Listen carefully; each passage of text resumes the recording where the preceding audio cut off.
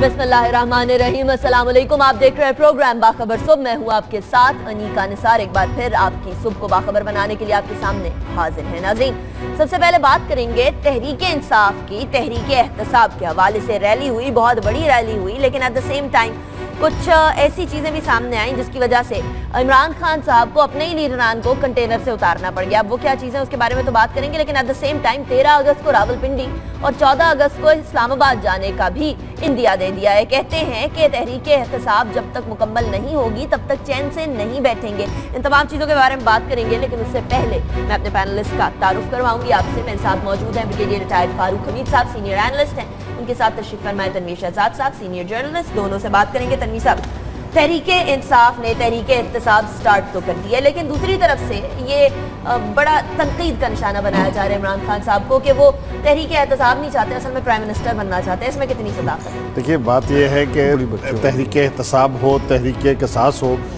یہ ایک جمہوری رائٹ ہے، عمران خان کا بھی، طاہر قادری صاحب کا بھی۔ کل ایک بڑا شو عمران خان صاحب نے کیا اور اس کے اوپر بہت سے لوگوں نے پورے کے پی کے سے آ کے شرکت کی۔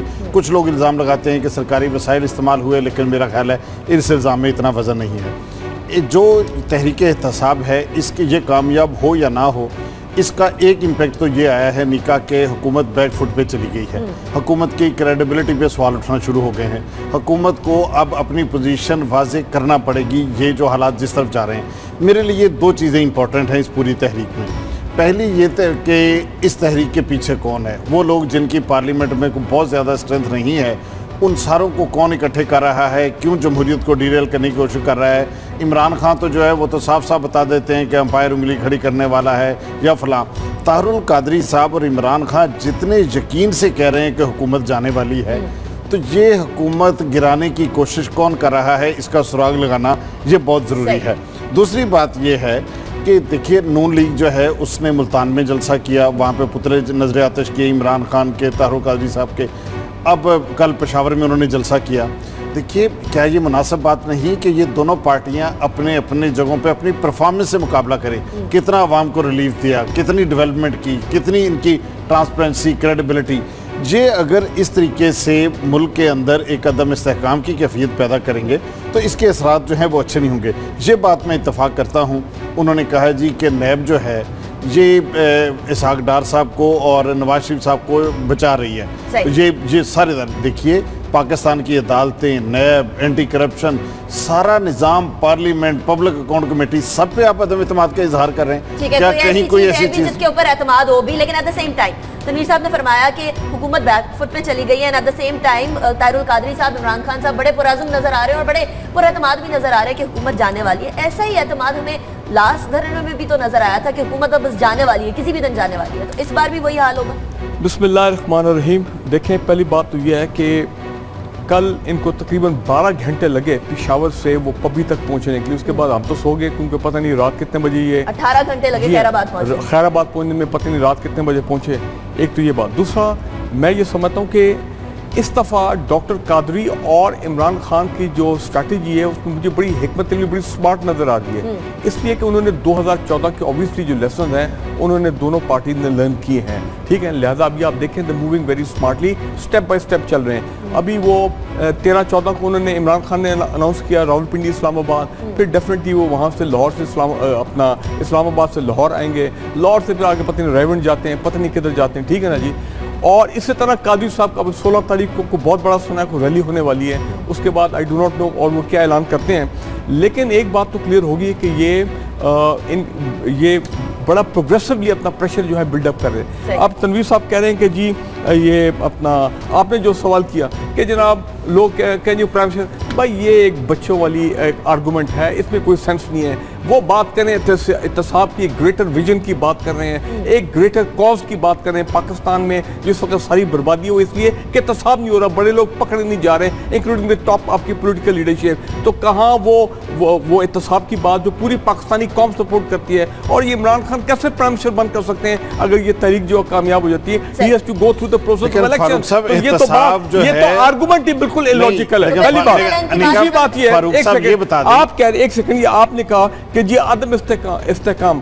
عدم استعمال تو گورنمنٹ جو ہے وہ خود پیدا کر رہی ہے۔ بھائی اگر آپ اپنے اداروں پہ ہاتھ اٹھا لیں اور ان کو انڈیپینڈنٹلی کام کرنے دیں پناما لیگ کی انویسٹیگیشن میں نے آپ کو بتایا تھا۔ میں خود نیب میں رہا ہوں چار ہفتے کی مار ہے ٹھیک ہے؟ کہتے بڑی بات ہی نہیں ہے۔ لیکن کیونکہ وہ بزد ہیں کہ جناب ڈسپائٹ دا فیکٹ کہ دو مرتبہ پرائم منسٹر صاحب نے کہا کہ جی میں اپنے آپ کو آفر کرتا ہوں میں یہ کہتا ہوں کہ عمران خان اور نواز شریف صاحب دونوں کو سیمٹیزلی ان کا احتساب کریں۔ دودھ کا دودھ دودھ پانی کا پانی ہو جائے گا یعنی مسئلہ ہی. ختم ہو جائے کہ کون پہلے کون بعد۔ بالکل میں کہتا ہوں دونوں کو اکٹھے کریں ٹھیک ہے صحیح۔ اچھا مزے کی بات یہ ہے کہ جو جماعت اسلامی ہے نے کل پھر پراملی اس کی بات کی ہے کہ یہ ہم سپورٹ کرتے ہیں احتساب یہ وہ لیکن کھل کے میدان میں آ رہے جو sitting on the side line Peoples Party بھی وہ بھی ایسی باتیں کر رہی ہیں سڑکوں پہ نہیں آ رہے پیپلز پارٹی جماعت اسلامی میرا خیال ہے they are enjoying the situation sitting on the side line اب وہ کہتے ہیں جی ہم اپنے وقت کے مطابق کریں گے اب دیکھتے ہیں ان کا وقت کب آتا ہے ٹھیک ہے وہ تو ان کا جمہوری حق ہے نا کہ وہ۔ ڈیسائیڈ کرے کہ ان کو کب آنا ہے کب نہیں آنا لیکن ایٹ دا سیم ٹائم جس طریقے سے وزیر اعظم صاحب اور عمران خان صاحب کا اکٹھا احتساب کرنے کی بات ہے تو ٹی او آر کمیٹی کے اوپر تو دونوں سائڈ سے بلاکیج تھی نا ٹی او آر کمیٹی کے ابھی فیصلے آنے باقی ہیں۔ اس کے اوپر انتظار کرنا چاہیے تحمل سے اگر آپ ساری سیاسی طاقتوں کو چھوڑ کے سولو فلائٹ پہ نکل آتے ہیں تو آپ کی کامیابی کے کیا امکانات ہیں؟ رانا ثناء اللہ کہتے ہیں کہ جو چلا ہوا کارتوس ہوتا ہے اسے دوبارہ فائر کرنے سے کیا انجام ہوتا ہے؟ وہ آپ تحریک انصاف کو دیکھ لیجیے پی ٹی آئی کو یا اہ، قادری صاحب کی جماعت کو دیکھ لیجیے۔ دیکھیے بات یہ ہے کہ جواب مانگنا جمہوری حق ہے۔ نواز شریف صاحب سے پوچھنا چاہیے کہ پیسے کہاں ایسے آئے؟ پیسے کیسے کمائے گئے؟ کیسے باہر بھیجے گئے؟ کتنا ٹیکس دیا گیا؟ اور کیا کس طرح سے یہ دولت لوٹی تو نہیں گئی؟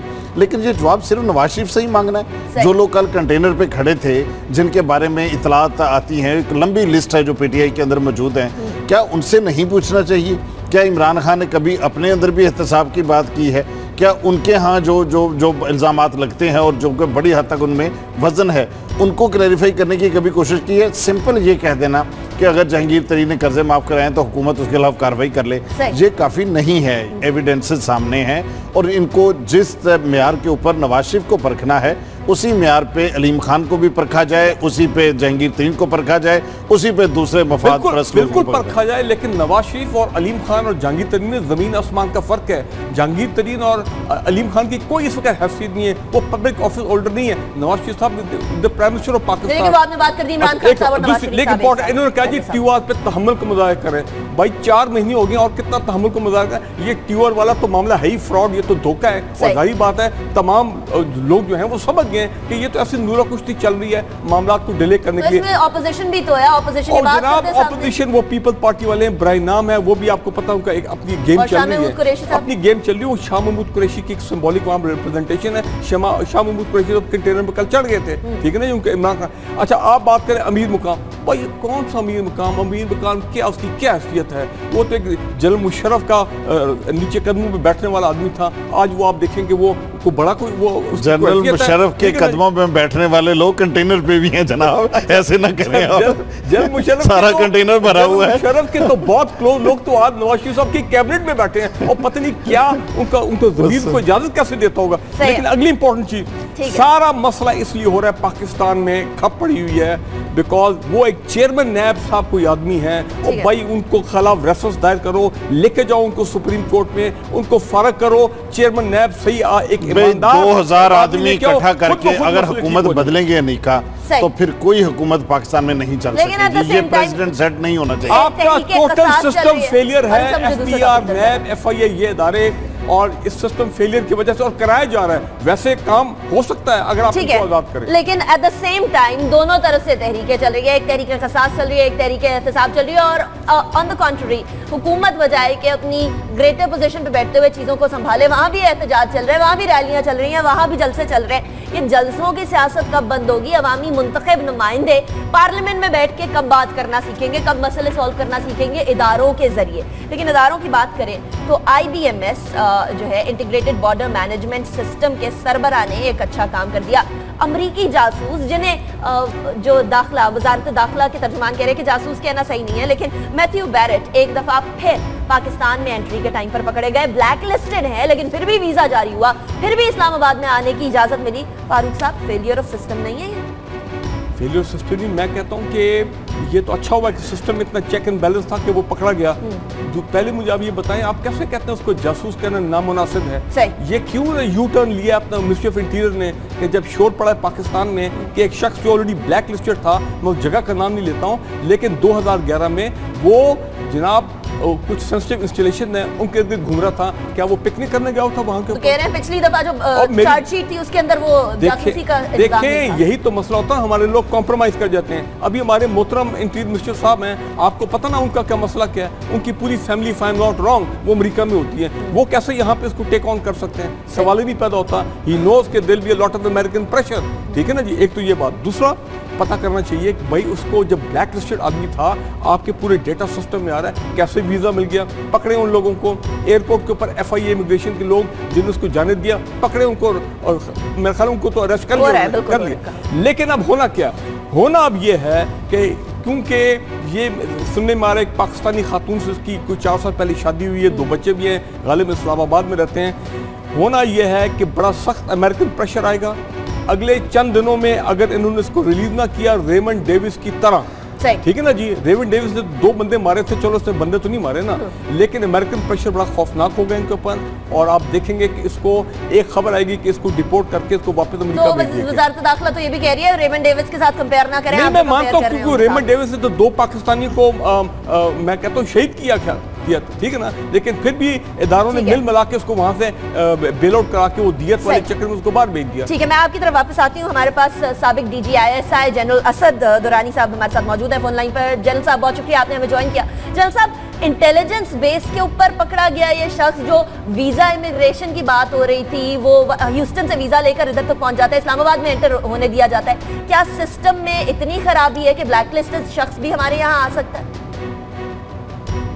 بات آپ کو کسی اور سے پوچھنی ہے؟ بی جی آئی سے پرانے سے نہیں پوچھتے ایف آئی اے والے جانتے ہوں گے جی۔ جو منسٹری میں جو ویزا دیتے ہیں ایئرپورٹ سیکیورٹی یہ ان سے پوچھنے والی بات ہے کہ یہ کام کیسے ہوتا ہے اور کیسے لوگ نکل جاتے ہیں۔ لیکن جنرل صاحب یہ جو پاکستان اور امریکہ کے تعلقات میں اس وقت تناؤ نظر آ رہا ہے آپ یہ سمجھتے ہیں کہ اس کو اڈریس کیا جا سکتا ہے؟ اور یہ پراپر کوششیں ہو رہی ہیں کہ پاکستان اور امریکہ کے درمیان سفارتی سطح پہ جو فاصلہ ہم دیکھ رہے ہیں، یہ برج کیا جا سکتا ہے؟ کوئی کوششیں ہو رہی ہیں آپ دیکھ رہے ہیں؟ ضرور کوششیں ہو رہی ہوں گی، لیکن یہ فاصلہ جو ہے، یہ قائم ہے اور مجھے اس میں کوئی یہ نہیں، بہت زیادہ چانسز نظر نہیں آتے کہ یہ برج ہو جائے گا۔ یہ مینج ہوتا ہے، پچھلے دس بارہ سال سے آپ دیکھ لیجیے، کیونکہ افغانستان میں ہماری اتنے، ہماری جو انٹرسٹ ہے، مختلف ہے، ہماری اپروچ مختلف ہے۔ ہماری پالیسیز ہر قسم کی چیز جو ہے امریکہ کی پاکستان کی نہیں ملتی۔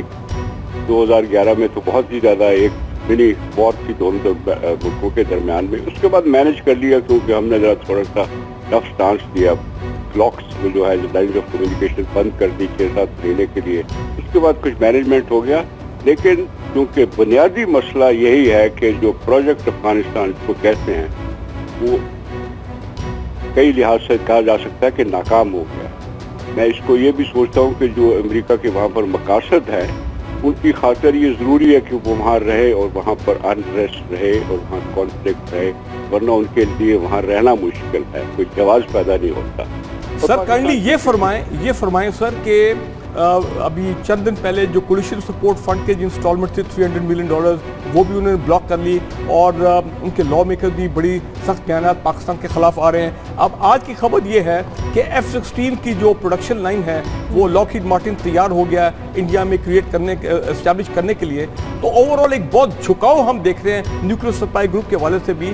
تو یہ کیا، یہ اتنا جو جھکاؤ ہو گیا امریکہ کے انڈیا کی طرف، اب اس کو کیسے مینج کیا جائے؟ میں نے دیکھو فاروق، بات یہ ہے کہ اس طریقے سے اگر ہے یہاں پر اتنے بڑے اختلافات ہیں اور ہماری پالیسیز نہیں ملتی ہیں، اس کے اندر یہ جو تخت ہے، یہ تو چلے گی اور چلتی رہے گی۔ بعض دفعہ مجھے اپنے لوگوں پر زیادہ افسوس اور غصہ آتا ہے کہ اتنے اب آپ کو اتنا زیادہ ڈپینڈنٹ کر دیا ہم نے، اتنا بڑا انحاس، انحصار بن گیا کہ پیسے کی خاطر یا سپر کی خاطر وہاں پر ہمیں ادھر جانا پڑتا ہے اور ان کی سپورٹ چاہیے۔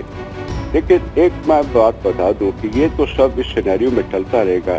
ہم لوگوں نے جب بھی اپنے پالیسی اپنے انٹرسٹ کے مطابق فیصلے کیے ہیں، چاہے وہ چائنا پالیسی تھی نیوکلیئر تھی، ایران پالیسی تھی گلوس کا میں ذکر چکا ہوں۔ تو وہی ایک طریقہ ہوتا ہے جب آپ کو کامیابی ملتی ہے اور آپ اپنی پالیسی اور جو ہے وہ کامیاب ہوتے ہیں۔ جب آپ ڈوبتے ہیں، جب آپ ان کی، کمزوری کی وجہ سے بینڈ کرتے ہیں تو وہ تو پرانا ہے یہ گیارہ دو ہزار ایک کے بعد ہی نہیں پہلے بھی ایسے ہی ہوتا تھا۔ ہمارے زمانے میں یہی ہوتا ہے کہ ہاں اتنا تو کر دیا لیکن ابھی اور بھی کرنے والا ہے۔ یہ ڈوب اور بڑی پرانی چیز ہے۔ جی جنرل صاحب آپ براہ کرم یہ بتا سکیں کہ کیا آپ سمجھتے ہیں کہ پاکستان کی جمہوری حکومت اور پاکستان کی اسٹیبلشمنٹ ان کی خارجہ امور کے اوپر ان کے درمیان کوئی فاصلہ نہیں ان میں مطابقت پائی جاتی ہے یا سوچ یکساں ہے؟ کیا آپ سوچتے ہیں اس طرح؟ میرا تو خیال ہے کہ جو مجھے نظر آ رہا ہے پچھلے چند سالوں سے خارجہ امور نے اور پاکستان کی حکومت نے اور یہاں پر جو ہم ملٹری اسٹیبلشمنٹ کہتے ہیں، کافی مطابقت ہے، کافی ان کے اندر مل کے انہوں نے کئی چیزیں ٹھیک کیا ایران کے ساتھ جو ہمارے تعلقات ٹھیک ہوئے تھے، وہ بھی ایک ملی ہوئی پالیسی کا حصہ تھا۔ روس کے ساتھ ہم نے امپروو کیا ہوا ہے۔ آپ استنبول پروسیس میں جب بھی دیکھتے ہیں تو کئی ملک ہیں اور پاکستان کے سمیت کہ وہ افغانستان پر ایک ہی پالیسی رکھتے ہیں۔ اور وہ اس کی سمجھ آتی ہے کیونکہ ہم اس ریجن میں رہتے ہیں، ہمارے دلچسپیاں اور ہیں۔ اور جو باہر کی ہے لوگ، خاص طور پر امریکہ، ان کا جو انٹرسٹ ہے وہاں پر یہاں پر بالکل مختلف ہے۔ اور یہ ایک ایک ایسی کشمکش ہے جس نے رہنا ہے اور اس کے اندر یہ ایف سکسٹین اور یہ جو روکنا ہے پیسے کو، یہ چھوٹی چیزیں ہیں، وہ اس کاغذ ہیں جو اس پالیسی میں فٹ ہوتے ہیں۔ صحیح۔ جنرل صاحب، بہت شکریہ۔ جنرل اسد دورانی صاحب موجود تھے لیکن ایٹ دا سیم ٹائم وہاں سے ویزا ایشو ہوتا ہے، وہاں سے ویزا ایشو ہو کے شخص در آ جاتا ہے۔ جس طرح کہہ رہے ہیں کہ جھکاؤ کر لینا ایک ویکنس ہوگی۔ پاکستان کا سٹینڈ سب کتنا سٹرونگ ہو سکے گا۔ امریکہ کی طرف سے دباؤ ہم سب کو معلوم ہے کتنا آتا ہے۔ ہیوسٹن سے یہ شخص ویزا لیتا ہے واشنگٹن یا نیو یارک سے نہیں لیتا۔ تو ڈیفینیٹلی اسٹریٹجی تو تھی نا۔ کوئی میرا خیال ہے پاکستان جو ہے وہ government of Pakistan will given وہ اس وقت اس موڈ میں نہیں ہے کہ وہ امریکہ کو بہت آنکھیں دکھائیں۔ ٹھیک ہے نا جی؟ کیونکہ وہ دیکھ رہے ہیں کہ ایک تو انڈیا کی طرف بہت زیادہ جھکاؤ ہو گیا امریکہ کا۔ اب اگر ہم ہر چیز کے اوپر ان کے ساتھ لڑنا شروع کر دیں یا اپنا ریاکشن شروع کر افغانستان میں حالات سنبھل نہیں رہے ہیں۔ ٹھیک ہے نا جی؟ تو میرا نہیں خیال ہے کہ وہ یہ کوشش ان کی یہ ہوگی کہ اس کو وہ کہیں گے جی ایم اے جی معاملہ ریزالو ہو گیا وہ دوبارہ اس کو جہاز میں بٹھائیں گے پاکستان سے واپس امریکہ بھیج دیں گے۔ یاد رکھیں کہ اگلے چند دنوں میں جان کیری جو ہے وہ بھی پاکستان آ رہے ہیں۔ اگر آپ کو یاد ہے جب ریمنڈ ڈیوس کا واقعہ ہوا تھا تو ریمنڈ ڈیوس کے واقعے کے بعد وہ جان کیری آئے تھے وہ برف پگلی تھی وہ جتنا تناؤ تھا فیصلے ہوئے تھے اس کے بعد وہ چلا گیا۔ ٹھیک ہے یعنی پریشر دینے کے بعد پریشر دینے کے بعد فوری طور پر برف میلٹ کرنے کے لیے جان کیری صاحب آ جائیں گے۔ کیا یا پھر یہ چیزیں ہوتی رہیں گی کہ پاکستان میں امریکی جاسوس آتے رہیں گے بلیک لسٹڈ لوگ آتے رہیں گے اپنا کام کر کے امریکہ جاتے رہیں گے اور پھر جس طریقے سے ہم کہتے ہیں کہ اس خطے میں عدم استحکام کی وجہ ایک امریکہ بھی ہو سکتا ہے، وہ ہوتا چلا رہے گا۔ لیکن عدم استحکام کی بات کریں تو ترکی میں عدم استحکام ہونے لگا تھا کو ہونے لگا تھا، لیکن فیل کر دیا وہاں کے عوام نے۔ اب ایک بار پھر عوام نکلے ہیں ترکی میں ملین مارچ کے لیے نکلے ہیں اور یہ کہنے نکلے ہیں کہ ہم لوگ کو کے جو کرنے والے ہیں یا سازشی لوگ ہیں ان کے خلاف چاہتے ہیں کہ سخت سے سخت کاروائی ہو۔ اور اردوغان صاحب بھی پھر کہہ دیتے ہیں تنویر صاحب کہ ٹھیک ہے اگر عوام چاہتے ہیں تو کرنے دیں۔ واقعی میں عوام چاہتے ہیں عوام اردوغان صاحب کے لیے نکلے ہیں جمہوریت کے لیے نکلے دیکھیے دو باتیں بڑی امپورٹنٹ ہیں۔ پہلی بات تو یہ کہ ترکی میں طیب اردوان جو کچھ کر رہے ہیں ان کو عوام کی حمایت حاصل ہے۔ پینتیس لاکھ لوگ جو ہیں کل استنبول کی سڑکوں پہ آئے اور انہوں نے احتجاجی مظاہرہ کیا اور ان کو سپورٹ کیا۔ دوسری اچھی بات یہ ہے کہ طیب اردوان کہتے ہیں کہ میں جو کچھ کروں گا، وہ قانون کے دائرے میں رہ کے کروں گا، پارلیمنٹ کے ذریعے کروں گا، آئینی طریقہ اختیار کروں گا۔ اب اگر پارلیمنٹ کہتی ہے کہ جو لوگ جنہوں نے ملک کو ڈی سٹیبلائز کرنے کی کوشش کی، جنہوں نے بغاوت کی کوشش کی، طیب اردوان کہتے ہیں کہ اگر ان کے خلاف کاروائی نہ رہی تو ریاست کی سیکیورٹی جو ہے یہ کمزور ہو جائے گی۔ یہ لوگ دوبارہ ملک کے لیے خطرہ بن جائیں گے۔ اس لیے اگر عوام چاہتے ہیں اگر پارلیمنٹ چاہتے ہیں تو ان کو یورپی یونین کی ممبرشپ کی پرواہ نہیں ہے۔ وہ کہتے ہیں کہ میں سزائے موت بھی بحال کروں گا اور دوبارہ نہیں کروں گا۔ دیکھیے اب تک دو سو ستر افراد کو جو ہے سزائے موت سنائی جا چکی ہے پندرہ جولائی کے بعد سے۔ بہت سے لوگ گرفتار ہوئے ہیں بہت سے لوگ اس پہ کوشش کر رہے ہیں۔ بیرونی ہاتھ جو ہے وہ بھی اس کے اندر سامنے آ گیا ہے۔ ایک تو عالمی برادری جو ہے طیب اردوان کے معاملے میں یہ ڈبل سٹینڈرز پہ عمل پیرا ہے۔ یہ اس کے لیے اور معیارات ہیں، وہی کام دوسری جگہ پہ ہوتا ہے، اس کے لیے ان کے معیارات اور ہیں۔ میرا یہ خیال ہے کہ کل ایک طرح سے ریفرینڈم تھا۔ یہ جو پندرہ دنوں سے مظاہرے ہو رہے تھے، ہم نے کتنے مظاہرے دیکھے ہیں ترکی میں، ترک فوج کی حمایت میں۔ ہم نے کتنے مظاہرے یعنی پاکستان جیسے ملک میں فتح اللہ گولن کے حق میں مظاہرے کوئٹہ میں کل کر دیا ایک دو اور جگہوں پہ ہو گیا۔ ترکی میں تو وہ بھی ہمیں نظر اس طرح سے نہیں آیا۔ میرا خیال ہے کہ یہ سبق پاکستان کو سیکھنا چاہیے کہ اگر حکومت ٹرانسپیرنٹ ہو ڈیلیور کر رہی ہو عوام متحد ہوں عوام کی بات سنی جائے تو پھر نہ فوج نہ امریکہ کوئی بھی حکومت نہیں بہت اٹھ بہت سکتا بڑی قیمت نہیں ہو جائے گی یورپی یونین کی ممبرشپ۔ نیٹو کے وہاں سے سوالات اٹھنے لگ جائیں۔ جان کیری صاحب اور یورپی یونین کے جو جنرل سیکرٹری ہیں ان کے بیچ میں ملاقات ہوئی تھی۔ انہوں نے بھی یہ بات کہی تھی کہ سوال اٹھانے پڑیں گے پھر ترکی کیا یہ قیمت دینے پر تیار ہو سکتا ہے؟ یا اس کا متحمل ہو سکتا ہے؟ دیکھیں پہلی بات تو یہ ہے کہ میں یہ کامنٹ کر دوں کہ واقعی یہ ریلی بہت بڑی تھی اس میں کوئی شک نہیں ہے۔ مانتے ہیں اس بات کو کہ ترکی کے عوام جو نکلے ہیں اردوگان کی سپورٹ میں۔ لیکن جو آپ کا سوال اس کا جواب یہ ہے کہ شارٹ ٹرم میں لگتا ہے کہ اردوگان شارٹ ٹرم گینز کے لیے کر رہے ہیں لانگ ٹرم میں وہ نہیں سوچ رہے کہ وہ ترکی کے مفادات کو کس طرح وہ ہرٹ کر رہے ہیں۔ ایک تو یہ۔ دوسرا یہ ہے کیونکہ یورپین یونین جوائن کرنا ان کا ایک بڑا پرانا خواب ہے اور ان کی بڑی ڈیمانڈ ہے۔ لیکن میرا خیال ہے ان حالات کے بعد جس طرح انہوں نے اپنا جرمنی کو اپنا اٹلی کو اور ممالک اور خاص کر امریکہ کو جس طرح انہوں نے آنکھیں دکھائیں اور جس طرح انہوں نے ان کو اپنا ریڈیکیول کیا ہے میرا خیال ہے وہ اب یورپین یونین کی ممبرشپ ان کو آسانی سے نہیں مل سکے گی کم از کم جب تک اردوگان پاور میں ہے۔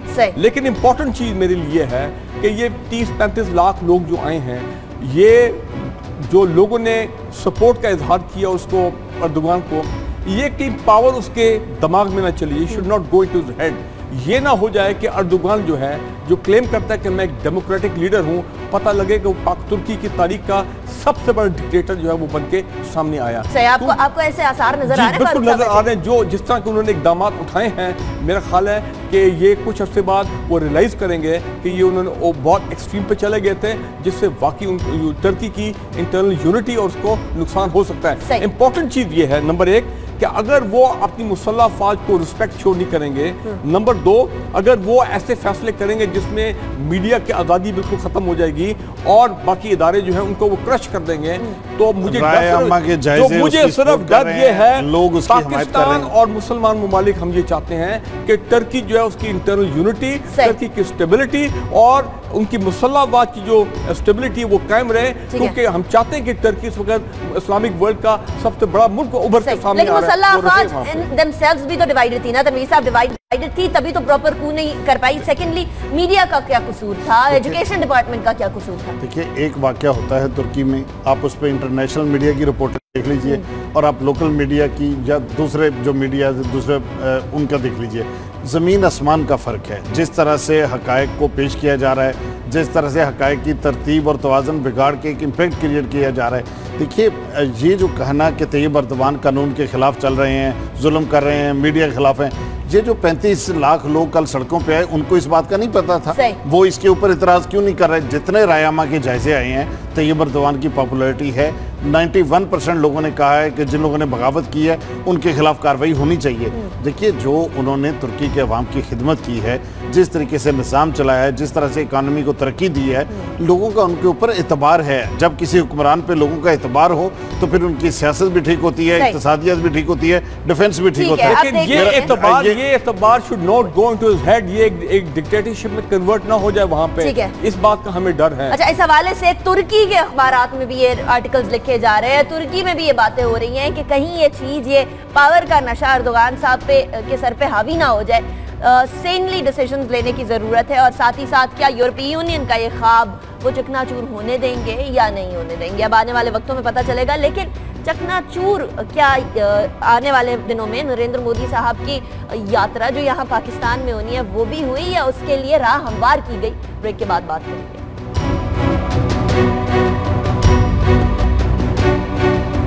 Welcome back after break break پہ جان سے پہلے انڈیا کے حوالے سے بات ہو رہی تھی سارک کے وزراء داخلہ کا اجلاس تھا۔ راجنات سنگھ صاحب بھارت کے وزیر داخلہ پاکستان میں آئے۔ پر ہم ہو کر گئے چودھری نثار صاحب اور ان میں کچھ تلخ جملوں کا تبادلہ بھی ہوا، لیکن وہاں جا کے بھارتی میڈیا میں کچھ ایسی چیزیں بھی شائع ہو رہی ہیں، جس سے، جس میں یہ کہا جا رہا ہے کہ نریندر مودی صاحب کی جو سات سربراہان کا اجلاس ہے، اس کے لیے راہ ہموار کی جا رہی تھی۔ وہ کیسے کی جا رہی تھی؟ فاروق صاحب، یہاں تو بڑی تلخ کلامی ہو گئی، یہاں تو لگ رہا تھا راہ ہموار کی بجائے راہ روک دی گئی ہے۔ کیسے راہ ہموار ہو رہی دیکھیں موڈی صاحب کی یہ جو سارک سمٹ میں جو نومبر میں ہو کی وزٹ کے بارے میں آپ نے آپ نے دیکھا ہے کہ ہم نے بھی دو تین دفعہ اس پہ کھل کے بات کی ہے۔ میں سمجھتا ہوں اٹ از دی اپوزٹ اگر وہ راجناتھ سمجھ ساتھ سمجھتے ہیں یہ انڈین میڈیا کہ جناب وہ آئے تھے اور بڑی انہوں نے راہ ہموار کی اور بڑے اچھے تعلقات اور بڑا اچھے جسچر کے ساتھ یہاں پہ انہوں نے اپنا ٹور مکمل کیا۔ انہوں نے تو بوائے کیا اپنا سات کانفرنس کا لاسٹ سیشن انہوں نے بوائے کیا جناب ہوم منسٹر صاحب کا ڈنر خیال ہے ہوم منسٹر صاحب سے ہاتھ بھی نہیں، شاید نہیں ملایا۔ تو وہ تو آپ کے خیال میں گڈ ول وہ تو بڑا بیڈ بلڈ کریٹ کر کے یہاں سے گئے ہیں۔ مجھے نہیں معلوم ہے کہ وہ کیسے کہتے ہیں یا ان کی کیسے یہ سوچ ہے انڈین اپنا کچھ اپنا انٹیلیجنسیا کے لوگوں کی کہ جناب یہ تو پرائم منسٹر موڈی کی وزٹ کو کے لیے وہ حالات سازگار بنا کے گئے۔ میں خالی اٹ از دی اپوزٹ اور میں آپ کو ایک بات بتاؤں، میں ابھی بھی کہتا ہوں، اب آپ دیکھیں گے اس پہ بڑی ڈیبیٹ ہوگا، بہت ڈسکشن ہوگی۔ جو موجودہ حالات ہیں اور اگر دو تین مہینے میں اور حالات خراب ہوتے ہیں کوئی لائن آف کنٹرول پہ ورکنگ باؤنڈری پہ یا انڈین آکوپائڈ کشمیر میں جو مظالم ہیں وہ چلتے رہتے ہیں۔ دیکھیں نا پاکستان نے اس حد تک کہہ دیا کہ جناب ایک انٹرنیشنل جو ہے وہ ایک میڈیکل ٹیمز جو ہیں وہ وہاں جانی چاہیے۔ کیونکہ وہاں لوگوں کی ٹریٹمنٹ جو ہے میڈیکل ٹریٹمنٹ ٹھیک نہیں ہو رہی ہے۔ ہم بھی اپنا ڈاکٹر بھیجنے کو تیار ہیں وہاں پہ تو حالات تو وہاں پہ بہت خراب ہیں۔ میرا نہیں خیال ہے کہ ان حالات میں گورنمنٹ آف پاکستان یہ چاہے گی کہ وہ اپنے آپ کو زیادہ آئسولیٹ کرے پاکستان عوام سے پاکستان کے عوام سے اور انڈین آکوپائڈ کشمیر جو ہمارے کشمیری بھائی ہیں ان سے زیادہ آئسولیٹ ہو جائیں۔ سوال ہی نہیں پیدا ہوتا۔ میں یہ سمجھتا ہوں بلکہ دل میں گورنمنٹ آف پاکستان کی کوشش ہوگی کہ کسی طرح موڈی نہ آیا آ گیا تو یہاں پہ ایک مصیبت کھڑی ہو جائے گی اس کے لیے اچھا ان میں سے ایک رائٹر جنہوں نے یہ بات لکھی ہے وہ تو مودی صاحب کی حکومت کے کافی قریب مانے جاتے ہیں وہ تو مانا جاتا ہے کہ کافی راز بھی جانتے ہیں۔ تو ایسا تو نہیں کہ مودی صاحب کا واقعی میں موڈ بن رہا ہے پاکستان آنے کا اب یہ خبریں شائع کرائی جا رہی ہیں؟ دیکھیے بات یہ ہے کہ یہ جو پاکستان اور انڈیا کے تعلقات ہیں۔ یہ میڈیا نے طے نہیں کرنے یہ فورن آفیسز نے طے کرنے۔ کہا گیا کہ راجناتھ نہیں آئے گا راجناتھ آ گیا۔ کہا گیا پٹھان کوٹ کے بعد تعلقات ختم ہو جائیں گے تعلقات ختم نہیں ہوئے۔ کچھ لوگ ہیں جو چاہتے ہیں کہ پاکستان اور انڈیا کے تعلقات بہتر نہ ہوں۔ وہ لابیز کام کر رہی ہیں وہ انڈیا کے اندر بھی ہیں وہ پاکستان کے اندر بھی۔ حقیقت یہ ہے انڈین میڈیا یہ کہہ رہا ہے کہ انڈیا پریشان ہے۔ کشمیر کی صورتحال سے نکلنا چاہتا ہے سلوشن چاہ رہا ہے۔ پوری دنیا میں اس کی بدنامی ہو رہی ہے۔ یہ جو جو کچھ کشمیر کے اندر ہو رہا ہے اس سے کوئی انڈیا کو فائدہ نہیں ہو رہا۔ انڈیا کے لیے مسائل بڑھ رہے ہیں۔ انڈیا کے اندر جو غربت کا لیول ہے انڈیا کے جو ڈیولپمنٹ کے اہداف ہیں یہ کوئی اس وقت تک پورے نہیں ہوں گے۔ جب تک پاک بھارت تعلقات بہتر نہیں ہوں گے۔ اس لیے راج ناتھ اس لیے آئے تھے کہ مودی کے دورے کی راہ ہموار کر سکیں۔ دیکھیے ہمارے بنگلہ دیش سے تعلقات میں تلخی ہے۔ انہوں نے اپنا انٹیریئر منسٹر نہیں بھیجا۔ وہ چاہتے تو انڈین جو ہے ایک جونیئر لیول کا افسر بھیج دیتے۔ لیکن دونوں جمہوری حکومتوں کا یہ آپس میں انڈرسٹینڈنگ ہے کہ جو باہمی اختلافات ہیں ان کا سایہ سار تعلقات پہ نہیں پڑنے دینا چاہیے۔ آپ کو یاد ہے واجپائی کے ساتھ ہاتھ ملایا تھا جنرل مشرف نے۔ اور بہت زیادہ اس کو اپریشیٹ کیا گیا تھا اور اس سے پاکستان کے تعلقات میں کچھ بہتری آئی تھی۔ دو ایٹمی ملکوں کا آپس میں کشیدگی برقرار رکھنا یہ مناسب نہیں ہے۔ ان کو بات چیت کرنی چاہیے ملنا چاہیے مسائل کا حل نکالنا چاہیے اور آگے کی طرف دیکھنا چاہیے تاکہ پیسے جنگوں کے اوپر نہ خرچ ہوں بلکہ غربت کے آپ دیکھیں نا راجناتھ صاحب جو آئے ان کی اصولت تو کیا ہونا چاہیے تھا؟ ایک مطلب یہ گڈ ول جسٹر ہوتا اور ویسے بھی ہونا چاہیے۔ کہ وہ جاتے پرائم منسٹر پاکستان کو جا کے کال آن کرتے ملتے ون آن ون کو ملاقات بھی ہوتی تب ہم بھی کہتے ہیں ہم بھی کو واقعی کو میسیج لے کے آئے ہیں جو کہ نواز شریف صاحب کو دے رہے ہیں۔ ایک یہ۔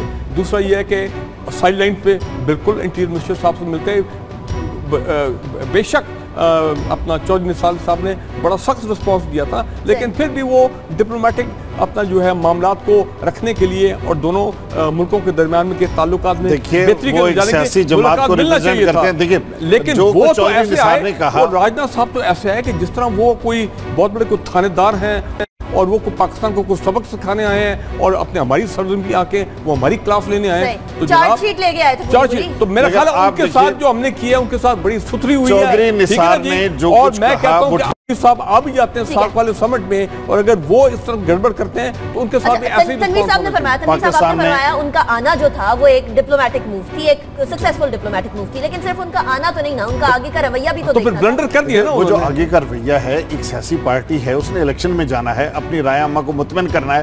انہوں نے اپنی رائے عامہ کو مطمئن کرنے کے لیے ان کے ایکشن سے چودھری نثار کی تقریر پاکستان کی رائے عامہ کو مطمئن کرنے کی۔ دیکھیے جو باتیں چودھری نثار صاحب کہہ رہے تھے اور آپ کو تو پتا چودھری نثار صاحب کہاں سے بولتے ہیں یا جو راج ناتھ کا رویہ تھا یہ جو انڈیا اور پاکستان کے فورن آفسز ہیں کیا وہاں کوئی اس طرح کی لینگویج نظر آتی ہے جس طرح کی ہم میڈیا کے اندر دیکھتے ہیں؟ ان کے ان کا جو ہے بڑی حد تک ریسپونسیبل وے ہے اور وہ ان معاملات کے اوپر رابطے میں ہیں اور وہ آگے کی طرف دیکھ رہے ہیں۔ اس کو شارٹ ٹرم نہیں دیکھنا چاہیے۔ ایک تو تنویر صاحب کو جو بھی کوئی بات کرتا ہے نا جو بھی کہیں بات ہو رہی ہوتی ہے عدد نواشی صاحب پر ان کے ذہن میں وہ ایک وہ پیرانوائڈ ہو گئے ہیں یا کیا ہو گئے کہ ان کے پیچھے ہر بندے کے پیچھے کوئی نہ کوئی ان کو کوئی طاقت نظر آتی ہے کسی طاقت نظر آتی ہے۔ بھائی جی، میری بات سنیں جی میری بات سنیں۔ راج ناز صاحب اگر واقعی سیریس تھے کہ معاملات اچھے ہوں تو بھی آ کے یہاں پہ ملتے سب کو اعلان کرتے ہیں کہ جی ہم تیار ہیں آپ کے ساتھ جو کمپوزٹ ڈائلاگ جو آپ کے معاملات بائیلیٹرل ڈائلاگ پروپوزل رک گیا۔ ہم اس کو بحال کرنا چاہتے ہیں۔ ادھر تو کوئی پیش رفت نہیں ہوئی۔ ٹھیک ہے ادھر پیش رفت نہیں ہوئی پیش رفت ایک اور جگہ پر ہو گئی اور مثبت نہیں ہوئی منفی ہو گئی۔ افسوس کی بات یہ ہے۔ کہ ہم سمجھ رہے تھے پش اپس کی سلوٹ کیا۔ شاہینوں نے، لیکن وہ تمام چیزیں مٹی میں مل گئیں۔ جب 141 رنز پہ ایسا میچ جو کہ بڑے آرام سے ڈرا ہو سکتا تھا، وہ ہار گئے پاکستانی۔ اور اس کے بعد نہ تو کوئی پش اپس رہی اور نہ ہی کوئی ایسی چیز رہی جس کے بارے میں ہم کہہ سکے کہ واقعی میں جیت نظر آئے گی۔ تنویر صاحب کچھ کارکردگی پہلے بہتر رہی، پھر خراب ہوئی، پھر بہتر ہوئی، پھر خراب ہوئی ہم مستقل مزاج کیوں نہیں ہو سکتے کرکٹ میں؟ خراب تو نہیں رہی، بہت مایوس کن رہی، بہت ہی پریشان کن رہی اور غالباً پاکستان کی ٹیم ہی ہے جو سو رنز کی برتری کے بعد بھی اتنی تکلیف انداز میں اس کو شکست ہوئی ہو۔ دیکھیے، پہلی بات تو مجھے فاروق صاحب سے کہنی ہے، چونکہ انہوں نے پہلے ٹیسٹ میچ کے بعد کہا تھا کہ وہاں کو ہو گیا ہے۔ یہ جو یونس خان چار رنز مصباح الحق دس runs, Asad Shafiq zero, Sarfaraz Ahmed zero, Yasir سا سات اور محمد عامر سولہ کے بعد آؤٹ یہ بوٹ ٹریننگ جو ہے یہ پائیدار کیوں نہیں ثابت ہوئی؟ بوٹ ٹریننگ کھلاڑیوں کی ہو یا سیاستدانوں کی ہو وہ زیادہ دیر نہیں ہوتی۔ اصل ٹریننگ وہی ہے جو سیاسی میدان کے اندر ہو جو پارلیمنٹ کے اندر ہو جو رول آف لا کے مطابق ہو۔ ایک جی۔ تو لیسن یہ ملا۔ اچھا۔ دوسری بات میں یہ کہنا چاہ رہا ہوں دیکھیے بات یہ ہے مصباح الحق کی پریس کانفرنس میں نے سنی۔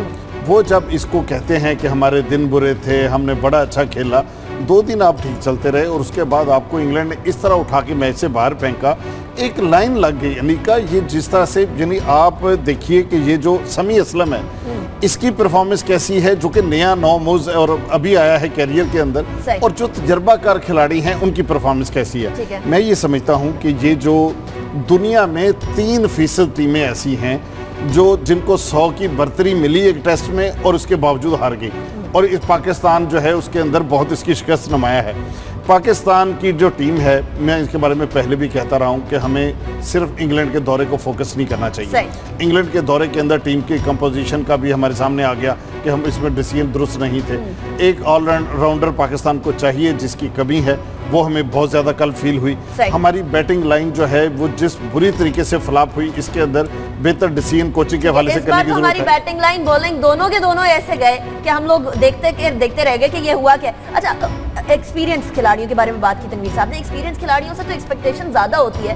ہمارے ایکسپیرینس کھلاڑی آپ دیکھ لیں یونس خان پہلے میں ان کے وہ بوٹ والی جو ہے نا اس کا جواب دے دوں. اور وہ یہ ہے کہ آپ لوگوں نے ایسی ان کی کلاس لی ان بچارے ہمارے ٹیم کی جب انہوں نے اجتماعی سلوٹ کیا یہ جو حکومت کی وجہ سے ہاری ہے بالکل ٹھیک کی ہے یہ جمہوریت کی وجہ سے ہاری ہے۔ شہریار خان صاحب کی کلاس لی گئی ہے نجم سیٹی کی وہ جناب مینجر کیا نام ہے نواز شریف ذمہ دار ہے اس کا اس پہ بھی عدالتی کمیشن بننا چاہیے۔ میرا خیال اسی سال ان کی عمر ہوگی ابھی بھی وہ مینجر رہنا چاہتے ہیں۔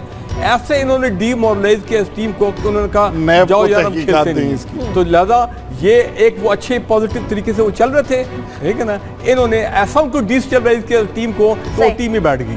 لیکن ہیونگ سیٹ دیٹ ساری بات ہے اب یہ جتنے سینئر پلیئرز ہیں یہ اپنا یونس مصباح حفیظ جتنے او بھائی ان کو فارغ کریں ظاہری بات ہے دیر پاس پرائم یہ چلے جائیں گے۔ ایک تو یہ۔ لیکن مجھے سب سے زیادہ جو تشویش ہوئی ہے مجھے اور پوری قوم کو کہ ہمیں سمجھ نہیں آ رہی کہ محمد عامر جو ہے، جو ہمارا خاص اوپننگ اٹیک اور لوگ بڑی امیدیں تھی کہ بھائی یہ جائے گا اور یہ اڑا کے رکھ دے گا گوروں کو۔ عامر فلپ ہو گیا، عامر فیل ہو گیا ٹوٹلی تھری ٹیسٹ میچز وہ چار پانچ وکٹوں سے زیادہ اس نے لی نہیں ہے۔ یہ کیا وجہ پریشر تو نہیں آگیا وہ جو بریٹن میڈیا کا پریشر تھا وہ پڑ پڑ کے ایک کوائٹ پاسبل آمیر کلک نہیں کر رہا میں حیران ہوں یا یہ ہے کہ وہ جو پانچ سال کے ٹائم اس کو ملا تھا جس میں اس کا جو لی آف پیریڈ تھا جو بین پیریڈ تھا شاید اس بین پیریڈ میں اس کی جو بیسک انسٹنکٹ اس کے سکلز ہیں وہ نہیں رہی ہیں۔ کیوں نہیں وہ پک اپ کر رہا؟ کیا وجہ کیا ہے؟ میرے لیے یہ سب سے زیادہ جو ہے نا تشویش کے بات ہے۔ لیکن آگے ابھی ابھی چوتھا ٹیسٹ میچ ہے دیکھتے ہیں کیا ہوتا ہے۔ وہ کر لیتے ہیں تو پھر جی جاتے ہیں تو ڈرا ہو جائے گا series but you can't win the series now لیکن جو فائیو ون ڈے میچز آ رہے ہیں ون ڈے انٹرنیشنل اب دیکھتے ہیں اس میں یہ کیسے یہ لڑکے جو ہیں اچھا، ہمارے انٹرنیشنل کرکٹ جو ہے اس کے اندر ڈیفینیٹلی ہم لوگوں کو زیادہ کام کرنے کی ضرورت ہے۔ شارجہ میں دبئی میں کھیل کھیل کے ہمارے کھلاڑیوں کو صرف ادھر کی پچ کی عادت ہو گئی ہے باہر کے ممالک میں جائیں گے تو ادھر کی پچ سمجھیں گے ادھر کا رویہ سمجھیں گے ادھر کے پریشر سمجھیں گے۔ لیکن پریشر کی بات کریں تو ناظرین دہشت گردوں پہ پریشر ڈالنے والے شخص کی تصویریں اب چودہ اگست کے جھنڈوں پر، چودہ اگست کے بیجز پر، چودہ اگست کے کارڈز پر نظر آنے لگی ہے راہیل شریف صاحب، جنرل راہیل شریف صاحب کی تصویریں۔ اب ہم لوگوں کو چودہ اگست کی تیاریوں میں کافی نمایاں نظر آنے لگی ہیں۔ پہلے صرف اور صرف پاکستان کا جھنڈا ہوتا تھا۔ اب پاکستان کو دہشت گردی سے بچانے والے اور وہ تھینک یو راہیل شریف کا ٹیک بھی آپ کو یاد ہوگا۔ وہ چیزیں بھی سامنے آنے لگ گئی فاروق صاحب یہ قوم کا ایک طرح سے اظہار تشکر ہے یا پھر اس کو بھی جس طرح تنویر صاحب کہیں آپ یہ تو نہیں کہیں گے کہ یہ بھی کہیں سے پریشر ہاں۔ بھئی دیکھیں وہ جو وہ جو بڑے بڑے کارخانے ہیں نا یہ چھوٹے کارخانے ہر گلی میں جو کہ جنرل راہی شریف کی تصویریں نکال رہے ہیں وہ ٹی شرٹس کے اوپر فلیگز کے اوپر سٹیکرز کے اوپر۔ ہاں۔ تو میرا خیال ہے ان کے پیچھے بھی تنویر صاحب خفیہ ہاتھ ہے وہ خفیہ ہاتھ والے لوگ پورے پاکستان کی گلی محلے میں پھیل گئے ہیں کہ ابھی جنرل رحیش شریف صاحب کے سپورٹ چل رہا ہے یہ جواب آپ کے لیے۔ جی جی۔ خریدنے والوں کے پیچھے بھی خفیہ ہاتھ ہاں، ہے کیا؟ لوگ کو ڈرا رہے کیا جناب میں کہتا ہوں اگر ہمارا خفیہ ہاتھ اتنا سٹرونگ ہو تو میں کہتا ہوں کمال کی بات ہے۔ بات یہ ہے کہ اگر کوئی جنرل رحیل شریف کے تصویریں لگاتا ہے آزادی کے پوسٹرز پہ بینرز پہ شرٹس پہ تو اس کا صاف مطلب یہ ہے کہ لوگ جنرل رحیل شریف سے پیار کرتے ہیں۔ اس کی دہشت گردی کے خلاف جو کامیابیاں ہیں اس کی تحسین کرنا چاہتے ہیں۔ اس کے جو کارنامے ہیں ان کو ان کے ان کو عقیدت کی نظر سے دیکھتے ہیں۔ اس میں کوئی دوسری رائے ہو سکتی ہے۔ اگر ان بیجز کا مطلب یہ ہے کہ نواز شریف ریزائن کر دے پارلیمنٹ توڑ دی جائے اقتدار اسٹیبلشمنٹ کے حوالے کر دیا جائے یہ کہاں لکھا اور کیسے لکھا ہوا ہے؟ آپ دیکھیں آپ بات دیکھیے بات یہ ہے کہ قائد اعظم علامہ اقبال سر سید ساری تصویریں جب لگتی ہیں ہم دیکھیں بہت سے جمہوری لوگوں کی بھی تصویریں لگی ہیں۔ محض تصویریں پرنٹ ہو جانے کی وجہ سے بڑی بڑی توقعات وابستہ کر لینا یا اپنے ہیروز کے اوپر اتنا بوجھ لا دینا کہ وہ اتنا ڈیلیوری جی، نہ کر سکے کہ جتنی ایکسپیکٹیشن ہو جائیں یہ مناسب بات نہیں قوم جو ہے نا وہ اس وقت ہنگری ہے۔ وہ طرف رہی ہے کہ ہمیں کوئی ایک کہیں پہ کوئی ایک واقعی ایماندار محب وطن کلین ایسا پاکستانی نظر آئے وہ تو انتظار میں کہ ہمیں اچھا، خام مارشلہ سے اچھا، آ جائے یہ کہنا چاہ رہے ہیں۔ نہیں بالکل۔ الیکشن سے آئے گا۔ اچھا، اسی سیاستدانوں سے آئے گا۔ امریکہ کے چوالیس پیزرنٹ میں سے اکیس جو ہے ریٹائرڈ فوجی تھے تو ایسی کوئی بڑی بات نہیں اب ہمیں بھی یہ کرنا میں آپ کو اگزامپل دے رہا ہوں قادر بلوچ کا میں نے تو بنا دیا۔ جو مطلب میرا پوائنٹ کے بعد دو سال بعد راہیل شریف صاحب الیکشن تو لڑ سکتے ہیں مجھے کہ اگر وہ چاہتے ہیں تو آئیں سیاست میں۔ آگے میں جو میں بات کرنا چاہ رہا ہوں وہ لوگ جب ان کی تصویریں لگاتے ہیں تو ٹھیک ہے ان کو ان کے ساتھ ہے اپنا ایک لگاؤ اور وہ اظہار ان کو اپنا ان کو اپنا محبت کا اظہار۔ لیکن وہ ایکچولی جو پولیٹیکل لیڈرشپ ہے جو کہ کرپٹ ہے نا اہل ہے لوگ وہ اپنی نفرت کا اظہار کر رہے ہیں کہ دیکھو یار یہ شخص ہے یہ ہمیں ہم ہمیں پسند ہے کیونکہ آپ لوگ نالائق ہیں۔ ایک یہ بات۔ دوسری چیز یہ میں ایک اور چودہ اگست کے والے سے بات کرنا چاہ رہا ہوں۔ وہ یہ ہے کہ کراچی میں یہ جو پاک سرزمین پارٹی ہے مصطفیٰ کمال صاحب نے جو اپنے اعلان کیا ہے تیرہ چودہ اگست کو پاکستان ہاؤس اور تمام ریلی سیلیبریشن یہ ایک اچھی ڈیولپمنٹ ہے جو کراچی میں ہوگی۔ کتنے سالوں کے بعد کہ پاکستان چودہ اگست جو منایا جائے گا کراچی میں ایک یہ۔ دوسرا بلوچستان میں بھائی میں کہتا ہوں hats off to everybody چاہے پی ایم ایلن کی گورنمنٹ وہاں پہ ہے سیکیورٹی کے ادارے ہیں ہمارے وہ صدن کمانڈ ہے اور وہاں پہ سول سوسائٹی کے لوگ وہاں کی پولیٹیکل لیڈرشپ بلوچستان میں بڑے پیمانے پر چودہ اگست کی تیاری ہو رہی ہے اور پوری بلوچستان میں بڑا سٹرونگ میسج جا رہا ہے۔ تنویر صاحب جی، جملہ مکمل کرنے دیں بڑا سٹرونگ میسج دیا گیا ہے انٹی پاکستان فورسز کو بلوچستان میں کہ جناب اب حالات وہ نہیں رہے جو آپ ماضی میں آپ چاہتے تھے کہ ہو۔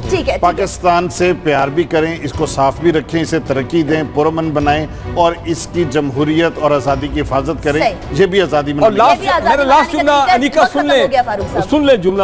وقت آدھا منٹ دے دیں مجھے۔ راہیل شریف صاحب has won the hearts and minds of the people of Pakistan simple as that وہ چیزیں تو ہم لوگوں کو بیجز میں نظر آ رہی ہیں تمام چیزیں نظر آ رہی ہیں لیکن پاکستان کی قوم یا پاکستانیوں کا ایک اور شیوہ نظر آتا ہے۔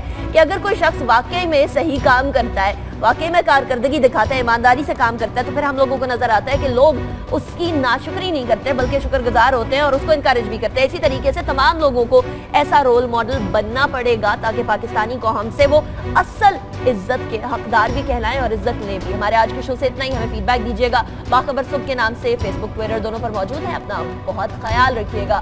پاکستان اور پاکستانیوں کے لیے دعا گو رہیے گا۔ اللہ حافظ۔